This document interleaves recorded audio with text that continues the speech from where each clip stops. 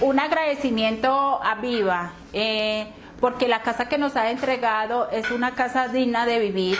Eh, para nosotros es muy importante que la casa tenga lo más básico y lo básico es que cuenta con una cocina,